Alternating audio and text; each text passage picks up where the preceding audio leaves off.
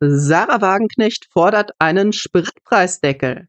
Und äh, sie äußert sich auch zur aktuellen Lage im äh, Iran-Israel-Konflikt. Schauen wir mal an, was sie bei Welt TV zu diesen wirklich wichtigen Themen, also sowohl den hohen Spritpreisen in Deutschland als auch zu dieser Zuspitzung im Nahen Osten zu sagen hat am vergangenen Wochenende.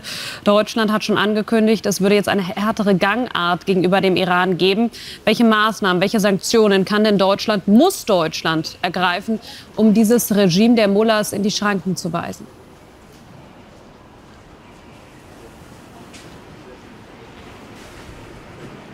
Na, ich glaube, die einzigen, die sich über eine härtere Gangart und Sanktionen freuen, das sind die Hardliner im Iran. Das sind ja nicht die liberalen Kräfte. Also als damals das Iran-Abkommen von Donald Trump aufgekündigt wurde, da waren es die Hardliner, die profitiert haben und die liberalen Kräfte waren eher geschädigt worden. Und deswegen glaube ich, ist das nicht der richtige Schritt, zumal man ja auch sagen muss, die Reaktion des Iran ist ja eine Reaktion auf die Bombardierung des iranischen Konsulats gewesen. Also wir müssen jetzt alles dafür tun, dass diese Eskalation nicht weitergeht. Natürlich ist das Mullah-Regime ein Regime, das äh, ich zutiefst ablehne. Da muss man, glaube ich, nicht darüber diskutieren. Es ist auch ein Regime, das natürlich die Existenz Israels in Frage stellt. Trotzdem kann man sagen, dieser Angriff war angekündigt, war auch in einer Weise gemacht worden, äh, dass die Israelis äh, darauf reagieren konnten.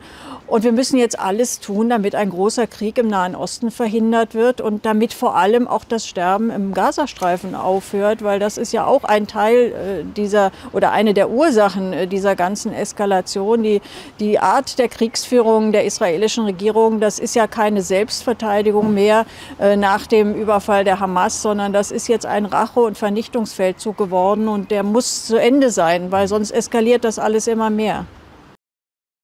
Oh, äh, ich äh, muss mich korrigieren. Ich hatte mich schon gewundert bei dem kurzen Internet äh, bei dem kurzen Interviewausschnitt. Es ging tatsächlich nur um eine Äußerung zur Lage im Iran-Israel-Konflikt und nicht um den Spritpreisdeckel.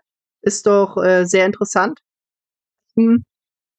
Ja, dem ist natürlich völlig äh, zuzustimmen, was Sarah Wagenknecht hier gesagt hat. Äh, die aggressive Politik der israelischen Regierung, der völkerrechtswidrige Angriff aufs iranische Konsulat, der hat dazu geführt, dass dieser Konflikt eskaliert ist und dementsprechend müssen wir Druck auf Israel ausüben, beispielsweise durch ein Waffenembargo, äh, durch einen Stopp der deutschen Geldzahlungen an Israel, damit äh, die israelische Regierung hier keinen großen Krieg lostritt. Also da hat Sarah Wagenknecht völlig recht.